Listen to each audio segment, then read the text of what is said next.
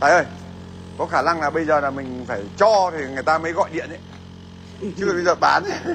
đâu nhiều người chung với đây anh? Nhiều người chung nhắn tin rồi đấy. Đây này có anh em nào sang không? Ai nhanh thì còn ai Bây giờ sang mổ luôn anh em ơi. Một Đây, triệu một cân cân.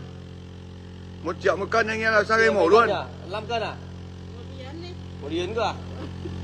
Thật không? Mình biết đường thì nhận khách đấy chưa kìa Cứ cười kìa 5 cân nhá 5 cân nhá Thế để gọi thợ mổ nhá Thế xong rồi ăn ở đâu chị? chị mang về nhà chị chị ăn nhé. Ừ. Chị ăn không con này nó thông minh đợn mua xin thì anh huấn luôn chị. Nào. Chị lấy khúc nào? Chắc là khúc đuôi nhỉ?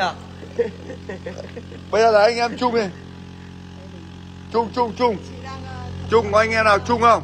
Anh Quân 085 34 67 89 anh em sang đây nhậu đây mua mua xong rồi. Alo. Đấy bây giờ là hai hai chị đang đi dạy lái xe nhá ờ, hai chị này là chị này là cô giáo dạy lái xe còn chị kia là học sinh dạy lái xe. Không Ờ, nói xin chào cả nhà. chị là quê thanh hóa còn chị này quê đâu? Em hoa thanh quế gặp hoa thanh táo. Cũng thanh hóa nữa. Em vừa lúc lúc sáng rồi mua mua gỗ ủng hộ bà con thanh hóa đấy. Đấy. Là yêu cầu các chú cảnh sát giao thông công an tỉnh thanh hóa thấy chị này ra đường là thu xe luôn chị chưa có bằng. Anh chị chưa có bằng đâu ai ai làm thế cái đó này cái đó này chị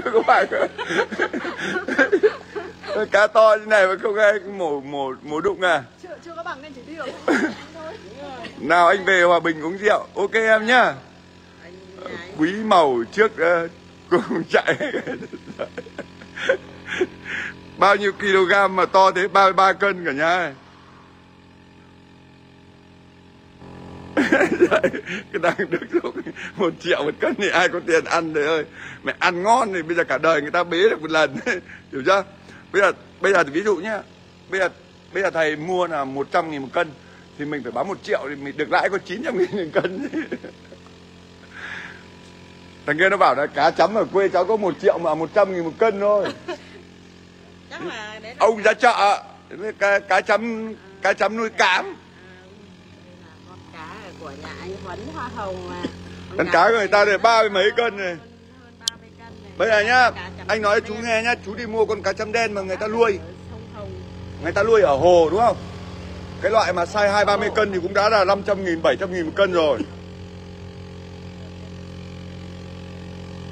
Ngon như này mà không ăn thì ăn cái gì?